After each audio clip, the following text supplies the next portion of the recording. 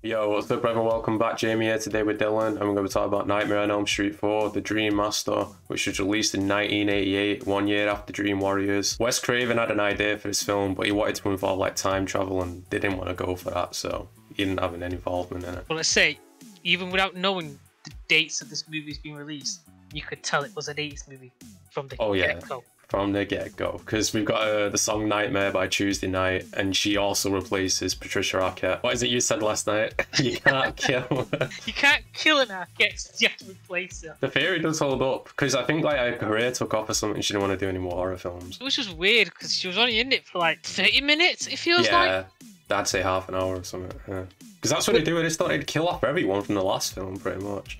Yeah, well, they do it very well, I think. But the film starts off and she's dreaming once again, and she goes into well, it's Freddy's house now. It was Nancy's, but you know it's Freddy's now. We see the tricycle come downstairs as well. You got to have the tricycle in there, and she pulls Joey and Kincaid into the dream, doesn't she? Because obviously she could do that in the last film as well. Which I thought was just funny, just the way Kincaid just like, I can't get my sleep, bitch! And then his dog comes in and just bites her, doesn't it? And takes a big chunk out of her arm. Yeah, my theory is like, the reason why Freddy's coming back is he keeps thinking he's coming back, which gives him the opportunity to come back. Kristen goes to her friend's house and we get introduced to the, basically the main characters of this film, Alice and her Yeah. brother Rick, who live Yeah. with their alcoholic dad. And then like That, yeah, that old cliche in a horror movie. Yeah, and who else we get introduced as well? It's Dan as well, and he's like the jock or whatever. Yeah, and uh, oh, the, the There's geeky two other girls, yeah, the geeky friend and then the other girl who works out. I don't remember their names, so it doesn't really matter about their names really. No. Main characters Alice, Rick, brother, and Dan, because Alice and Dan get together, don't they? And then what? Kincaid falls asleep, doesn't he? Wakes up in the scrapyard from the last film. Suddenly He's pishes dog- off yeah, Freddy. Who's named Jason as well. So they've been setting up that match for a while. Yeah, they've been setting up for a while. You know, and what well- the, the dog just dig, digs up uh, Freddy's bones. Doesn't doesn't dig up, just pisses fire on it. No, don't he? He's scratching at him first, Yeah, yeah, and then that's he it, pisses and the fire. Yeah, pisses the then the fire, and that's what brings. Yeah, that's what brings Freddy back. I read before online James Cameron was talking with the director. They must have been friends or something. He's like, "So how does Freddy come back in this film?" And he's like, "The dog pisses fire." Like, it- like, but it's not even like pissing on, on like his actual, where he's buried in real life. It's just in the dream. Yeah, true. Which- it makes even less sense. yeah, it does. It makes no sense. Really. He kills Kincaid, which is sad because I love Kincaid, but Yeah, like, I love this line. You know, I'll see you in hell. Tell him. Yeah. and straight from there he goes to Joey's house. Don't he? Joey's asleep. And with the taste with this boy. Boy is thirsty. He falls asleep, doesn't he? And he, uh, no, he looks at his poster first of the woman, doesn't he, with the bikini or whatever. And he falls asleep, and she's gone off the poster, and she ends up inside his. Well, he had a water bed to begin Yeah, with, right? he had a water bed, yeah. yeah. So she ends up there, and you know he's like, "Oh, come back!" And then all of a sudden, Freddy just pops up, and he's like, "How's this for a wet dream?" That's the movie where Freddy just went off the rails. It's kind of like you love it. You just Yeah. love it. you gotta love it. It's so corny, but it's funny as well. And like It's you said, Robert it's pure Englund. I feel like it's just Robert Englund. It's just, he's True, just true. Yeah, he's completely like embraced that role at this point. Yeah. it's just more time spent with the new characters in it. I think it's a mistake killing Joey and Kincaid early. I think they should have kept them around. Like, Well, it sets up Crystal, does it? Not Crystal. Kristen. Kristen, yeah, yeah, yeah. when she sees like the god, what seems to be a uh, concurring factor in Freddy's powers is fear. And since she's the Dream Master, she has a lot of power. Like he's feeding off of that. Like the more she fears, the more powerful he can come back. But yeah, she's in school and she, and she knocks her head. Which Yeah. is just, I hate when films do that. When someone just pushes you, it's like boom, straight. Oh no, my head. Oh, no. No, maybe, maybe, And then, like she you have said- fainted from exhaustion after seeing like two of her friends had died, or someone told her. yeah, true. I like how she cliche. assumed it. Like, oh my god, they're dead. And so I went, nah, mate, they both just got the flu. And No, then no, she about wakes you. up, and it's Robert Yeah. Englund and drag dressed up as the nurse. Yeah. Which you take you take a minute to sort of because I, I thought, oh, is this just like a weird cameo that he's doing? And then they go to Nancy's old house, don't they? They just stood outside, and before they do anything, her mum drives up, and she's like, "Oh, get away from that house!" And you get that shot. It just looks like Halloween. Like Michael Myers is literally in the house looking out at him because that is identical. Yeah, and I just love how like I've always thought that house was Freddy's house. Like it was just where he did the murder or whatever. Like, But I mean, you but spent more time house, there now. yeah. It's not Nancy's anymore, though, is it? No. She's long gone.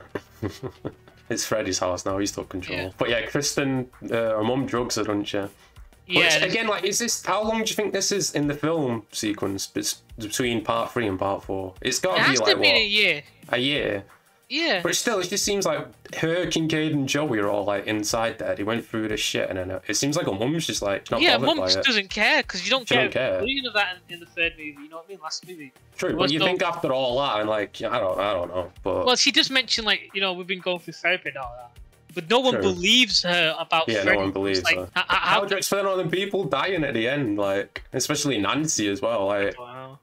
It's like she was suicidal or anything, was she? But yeah, she ends up falling asleep because she gets drugged, and this is where you get that fucking. Oh, she's on the beach and shit. and Robert and Freddy comes over, he puts his sunglasses on, Yeah, baby. and he just fucking kicks her down into the sand, doesn't he? Oh, that boot? was the funniest shit. But, oh, this is a pretty cool death. So Yeah. drop her stand. Nope. sends her- Sends her to the boiler room, doesn't it? Yeah. No, it said she goes Oh, into no, like, the dining house. room. Yeah, she's crawling on the roof, isn't she? The Yeah, which is really all Yeah. lovely effects. I think it's really Hmm. cool. Then they go into the boiler room, and he's like, "You're Elm Street's last rat," and he's about Yeah. to kill her, and she pulls Alice into the dream. Yeah, but I think Freddy, I think Freddy's trying, Freddy's taunting her to bring someone in. Yeah, because he wants more victims. But he, like he says, she is the last of the Elm Street kids, isn't she? Yeah, because like it's clearly none of none of the other people on this in this franchise are on Elm Street anymore. No. I'm surprised people still live on Elm Street, to be honest, at this point. she transfers the power into Alice, doesn't she? You Yeah. gotta, like, swap over shit. Yeah, like no, because like Freddy throws her into the boiler. oh, yeah, she starts burning. That's how she dies, and she? She gets Yeah, alive. like she Yeah. goes, "Oh, Alice, you're gonna need my power." But then after that, it's well, she yeah, she's on fire and she and they go to her room and she's Yeah. dead basically. And it's straight from there to cut right to the next scene. It's just tombstones of Nancy, Kincaid, Kristen, Joey. Oh, Probably- Leetney. Yeah, right next to each other. Like, come on, like how much space do you have here? Like, did no one die in between them? I, I, I think they just have like a whole plot made for the Elm Street kids. Maybe, maybe, yeah. Yeah, mm, maybe we should. like, have- oh, these are starting to stack up now. Let's just put them Yeah. all together. we get the um, classroom scene, don't we? we? Well, the first one, we get a few classroom scenes, to be honest. But this one's where I forgot her character. She's got the inhaler, hasn't she? she yeah, but we see, we, we see earlier on that she gives the uh, she's like because the other friend hates bugs. You put it like a little device because this plays later.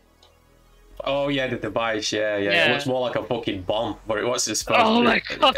what is the, what's the device? It kills bugs or something. I think it's like a sonic, like it sends bugs away, like it sounds like a high pitched noise. I don't know. But it does look like a bomb. Yeah, it looking like. But wait, so does the nerd fall asleep?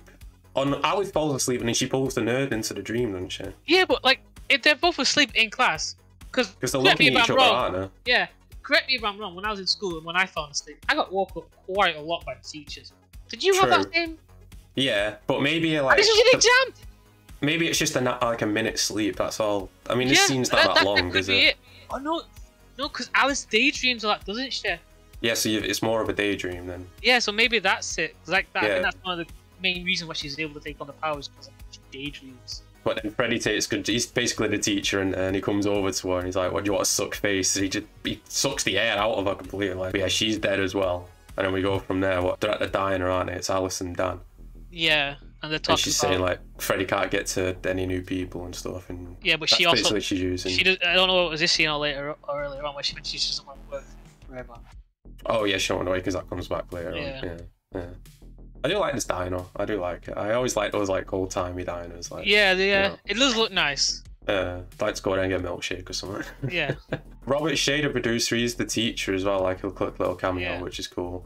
And then, like you said, uh, Rick falls asleep on there. Wait, what happens? To, I forgot what happens. Doesn't he go to a toilet or something? No, yeah, he's in. he- he's in. yeah, he's in the shower. he just has an argument. No, he doesn't have an argument. His friend has an argument in the uh, locker room. or something. Yeah, the locker room. Yeah, And then he, I think he's in the bathroom and he falls asleep while he's on Hmm. the toilet or something. and then all the cheerleaders come in, don't they? yeah, and Alice doing- is there, Yeah, yeah. which I'm like, yeah, that's not weird. Your That's sister just not- come yeah. in while you're on the job. you know. no one won't do anything about that. And he's teleported to that room in it with invisible Freddy. Yeah. Which he's just fighting. He's like, a true ninja does not need his eyes.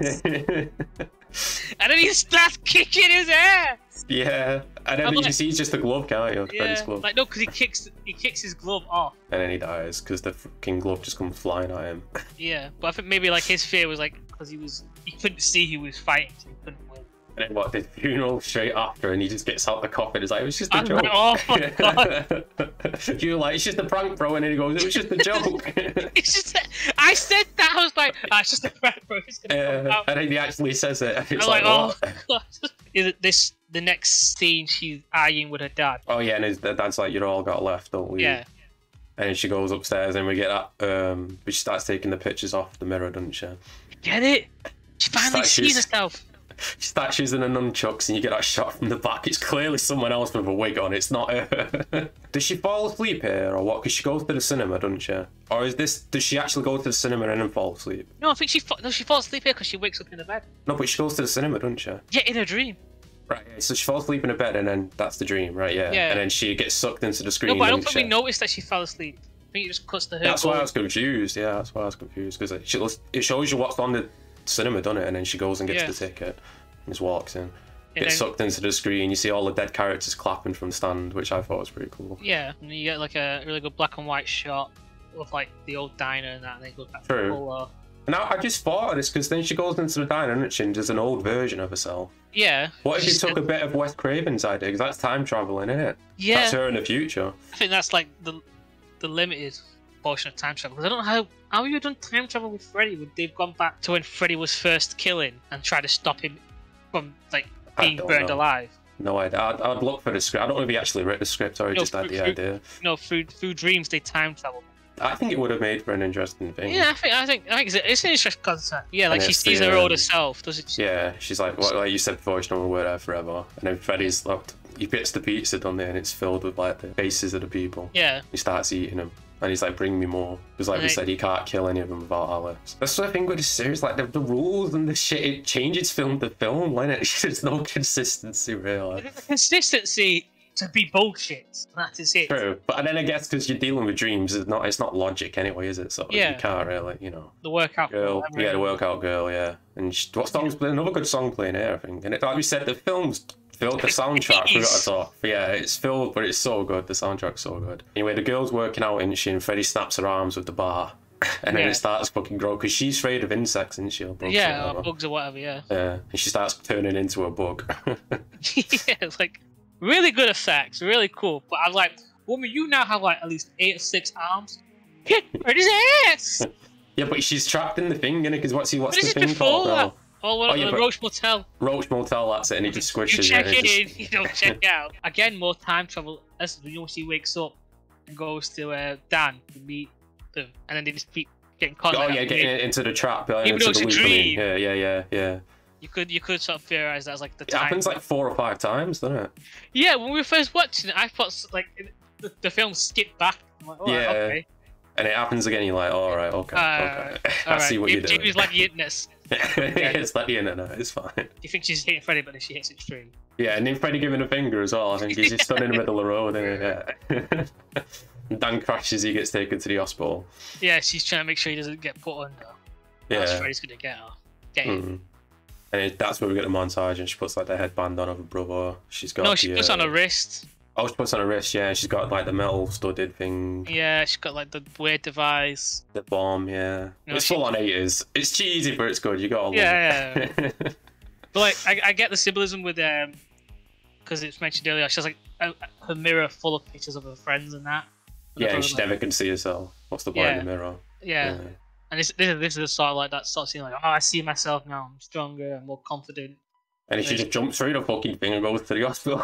And then what? From the hospital, I mean, Dan gets resuscitated or something, doesn't there? So he's alive. Yeah, like Yeah. I, I thought like when I first saw that, like he saw bleeding, just like, oh, he's dying, like in the hospital. So the, the, the amp brought him back yeah, or whatever. He's like, Mm. he's gonna die before Freddy kills him, so maybe he gets away. And then oh, they managed to bring him back.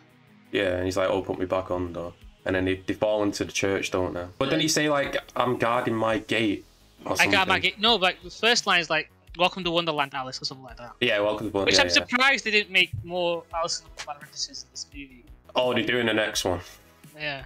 I remember the next one now. and she what she starts beating Freddy up and shit because she's got the powers now. Again, this is what I hate about Freddy movies. Like, there's no consistency. Like, No, but he's just selling it though. He's just letting her pretend in it because then Oh, yeah. she, she burns the hole through Freddy, doesn't she, with the bomb device? That's it. yeah, yeah. It's yeah, like yeah, she- she- or whatever. she pulls out like wires Yeah. All right, okay, this church clearly made in the 1800s as working electronic.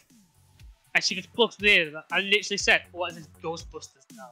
True. And the electrical beam shoots right through Freddy, and then he says, "I am eternal," and then she gets the mirror, shows And him the remembers reflection. the- uh, the because the kids are singing the song, aren't they? Oh yeah, they're up in the Right. top, aren't they, or whatever? Yeah, Yeah. it's just like I don't even know if it's a mirror or just a piece of glass that's reflecting.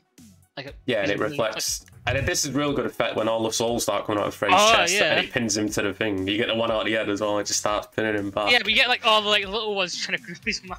Oh yeah. I mean, yeah. his mouth. and then they're all free and they all just fly out the window. They're all Yeah. they're all free. And it cuts to the end on it. It's Alice and Dan, like however time later, they're at a wishing well fountain, and she sees Fred's reflection, and then that's how the film ends. It sets up one, but it also sort of leads you into like that could be the end. I mean, they do set like it's like we've seen it throughout it because we was getting this confused with part five with the bike, weren't we? Because his bike's Yeah. in that pickup truck Yeah, throughout the whole like, fucking I film. keep getting brought up.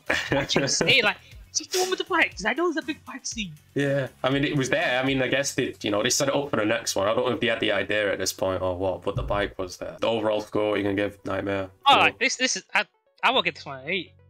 An eight. Yeah, I really enjoyed it. Like I could watch this again. This film, like it's just so funny. No, it's got some action. It's a little Hmm. little silly at times. You know, I think I think eight, solid eight. I'll, I'll go with seven. It was good. Obviously, Robert Englund's, you know, comedic, so good. He's obviously, I mean, at this point, you're not going to be scared of Freddy anyway. I, I like, there's no point. The fourth one is like the series, you know. Yeah, this it definitely jumps the shark later on, but this Yeah. sort of toes the line a little think, I bit. think I think this is this is the point where it's like, okay, we're no longer watching it to see Freddy get killed. We're just watching Freddy say funny lines. Yeah, true. You know I And then they go overboard with that in the next one and the one after. And make sure you like and subscribe if you're new. Check out Dylan's social links down below. Next week, Nightmare on Elm Street 5, Dream Child. Until then, peace out in a bit.